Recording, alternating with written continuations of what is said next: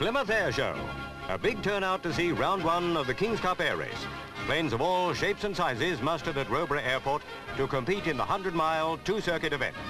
Pilots from Commonwealth and other overseas countries took part in the test of flying skill.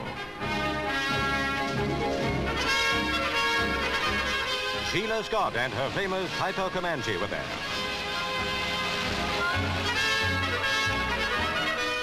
It's a handicap event. It has to be. The fastest aircraft had a top speed of 400 miles an hour, the slowest about 60. So they took off at intervals with a time difference of 34 minutes between first and last.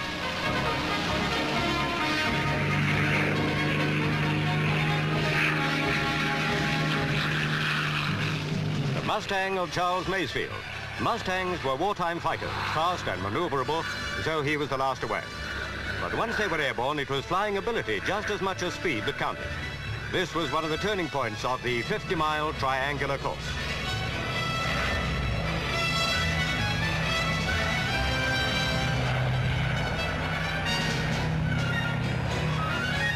It was certainly a race full of excitement, both for spectators and flyers, as they came over the field for the first time.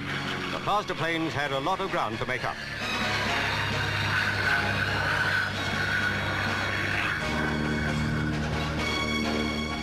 Not much time to admire the scenery when there are 30 aircraft in the sky, each one going flat out for the finishing line. This year, half the entrants for the Royal Aero Club sponsored race were newcomers to the sport, an indication of its popularity. But the finishing line was in sight, and this was one time when speed did tell. First was the Mustang of Charles Masefield. For the winner, 50 pounds and a place in the King's Cup race. But money wasn't everything that awaited the victor.